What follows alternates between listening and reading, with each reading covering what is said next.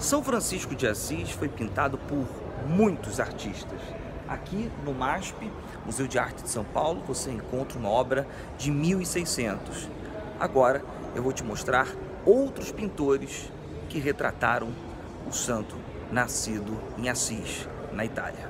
Êxtase de São Francisco com os estigmas é do pintor El Greco. Essa é uma das passagens mais emblemáticas da vida do santo. Em uma de suas meditações, Francisco viu a figura de um homem com asas, pregado a uma cruz. Aos poucos, Francisco sentia feridas no corpo. Ficaram as marcas. As dores acompanhariam para sempre. No Museu del Greco, em Toledo, na Espanha, há outra obra que lembra de passagens da vida de São Francisco de Assis. Nesse quadro, percebe-se Léo ajoelhado. O frei estava com o santo no momento dos estigmas. Francisco tentou esconder as feridas de todas as maneiras, até o final de vida. Essa basílica é de Santa Clara, em Assis.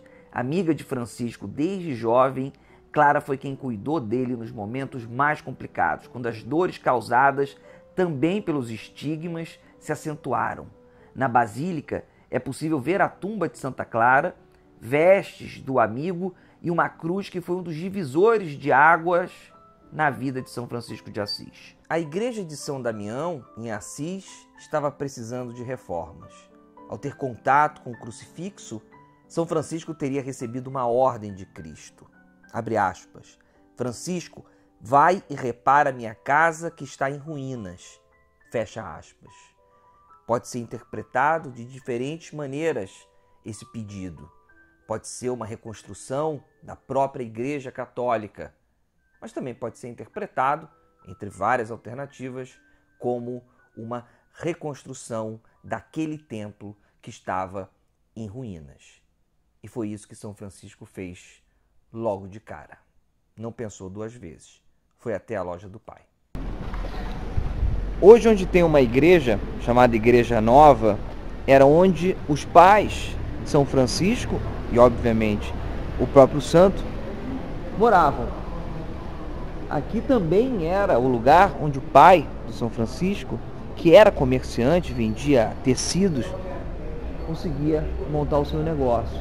Pietro Bernardoni era um comerciante rico, com negócios até na França. Francisco, seu filho, veio aqui, pegou os tecidos e vendeu abaixo do preço. Todo o dinheiro foi dado ao padre. Era para as obras da igreja de São Damião. Achando que Francisco tinha enlouquecido, o pai acorrentou o rapaz no porão de casa.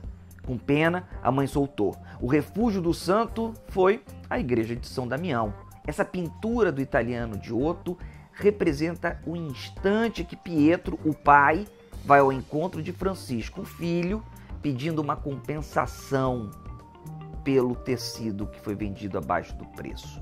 São Francisco de Assis tirou a roupa do corpo como uma demonstração que não queria nada. Era um caminho sem volta, bem diferente do Francisco festeiro e brigador que a cidade se acostumou a ver. Depois de uma longa subida, mas uma longa subida mesmo, por isso traga sapatos, tênis confortáveis, nós chegamos à igreja de São Rufino. Aqui foram batizados tanto Santa Clara como São Francisco. São Francisco cresceu indo para festas. Gostava de beber. Quando jovem, pegou em espadas para matar opositores. Em 1202, alistou-se para uma guerra entre Assis e Perúdia, uma cidadezinha bem perto. Foi capturado e preso. Sofreu na cadeia. A saúde, já fragilizada, teve baques ainda maiores. O pai conseguiu soltá-lo. Em uma segunda guerra, em 1205, não completou o caminho. Desistiu porque teve uma visão. Era um chamado para que voltasse a Assis. A revelação aconteceria normalmente, em seu tempo preciso ouvir a voz de Cristo ao olhar esse crucifixo foi um dos sinais do que ele deveria seguir.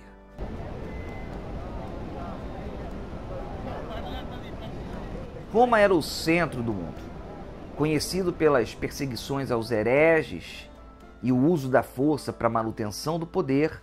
Inocêncio III era o Papa. Se quisesse ter uma ordem, Francisco precisava de autorização papal. Difícil, mas não impossível. O primeiro encontro com Inocêncio III foi terrível, péssimo. E um dos motivos está nesse quadro. Eram as regras para fazer parte da ordem, regras rígidas, regras que levavam para o estilo de vida de Jesus Cristo.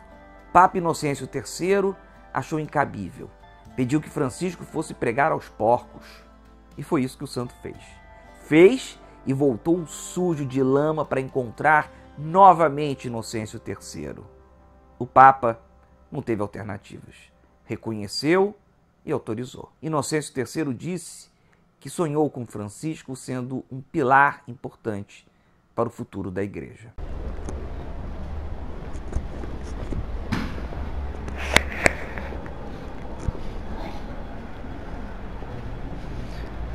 O mais bacana de caminhando aqui por Assis é você entrar nessas ruelas. Andar. Andar como São Francisco fazia. O santo caminhava para pregar o que não era comum na época. Com uma forte veia educacional, Francisco chegou a criar presépios para facilitar o entendimento da Bíblia. Era um jeito simples e que funcionava com os mais diferentes públicos. São Francisco, nessas ruas de Assis, atraiu multidões. São Francisco tentou apaziguar guerras, foi à Quinta Cruzada no Egito, fato até hoje tratado como inacreditável, tentou estabelecer a paz entre os envolvidos. Essa obra mostra o momento que ele encontra o sultão. Não conseguiu acabar, é verdade, com as tensões, mas pelo menos possibilitou o diálogo, abriu o caminho para o diálogo. São Francisco se dedicou a cuidar dos leprosos, dos menos favorecidos, dos pobres, no momento onde eles não eram vistos. A relação do santo com os animais é famosa. Amante e amado pelos bichos, não deixava de pregar para eles também. Em diversas obras há essa comunhão. Santa Clara, amiga e cuidadora, em especial nos últimos momentos de vida, entrou na ordem em 1212. Ficou ao lado de Francisco até os últimos segundos. A grande igreja de Santa Maria dos Anjos foi construída para proteger a pequena porciúncula, que ainda conserva as pedras de tantos séculos. A porciúncula é um dos lugares favoritos de São Francisco já entendendo que iria morrer, pediu que fosse levado para esse espaço. Durante o pôr do sol do dia 3 de outubro de 1226, ele faleceu.